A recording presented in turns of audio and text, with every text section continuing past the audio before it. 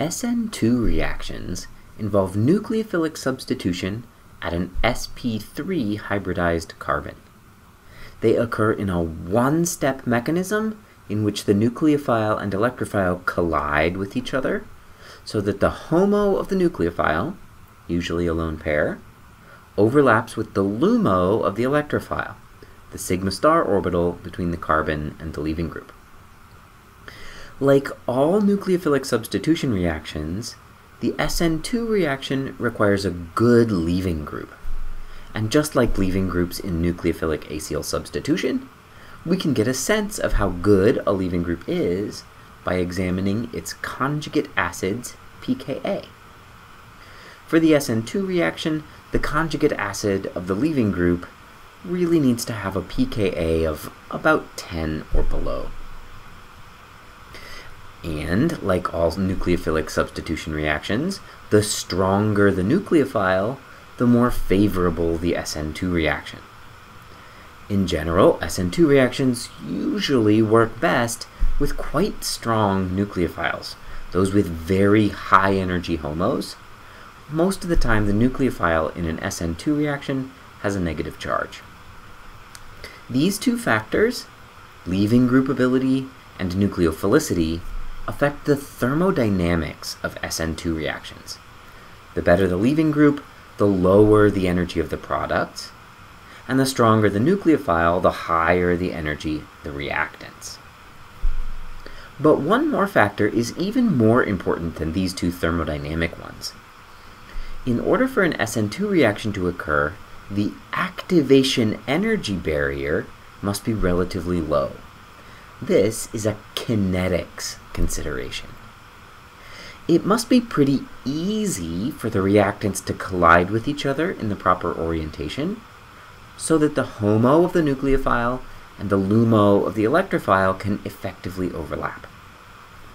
This means that anything that gets in the way of these orbitals overlapping really hampers the reaction. We say that this reaction is sensitive to sterics, the size and bulk of the groups surrounding the reactive site. The bigger those groups are, the slower, more challenging, and less likely the SN2 reaction will occur. In general, methyl and primary leaving groups can undergo rapid SN2 reactions. Secondary leaving groups undergo pretty sluggish SN2 reactions, but they can occur. And tertiary leaving groups don't really undergo SN2 reactions at all.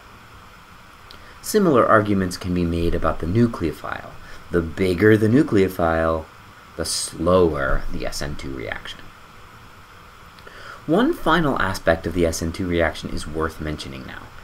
It's stereochemistry. By virtue of the way the frontier molecular orbitals, that is the HOMO of the nucleophile and the LUMO of the electrophile, need to overlap, the nucleophile must collide with the electrophile on the carbon side of the carbon leaving group bond. You'll commonly hear this referred to as backside attack because the nucleophile attacks the electrophile from the back side of the leaving group, kicking it out. The implication of this is that the groups attached to the carbon, the groups that don't leave, do a sort of umbrella flip as the reaction occurs. This always happens in every SN2 reaction, but it usually doesn't make much of a difference. But if the leaving group happens to be attached to a stereogenic carbon, sometimes called a chiral center, then an SN2 reaction inverts the stereochemistry at that site, the configuration of that site. We'll explore this in more detail in a future video. For now, you should remember that SN2 reactions require good leaving groups and strong, usually anionic nucleophiles. They are very sensitive to sterics, big is bad, and they proceed with inversion of configuration.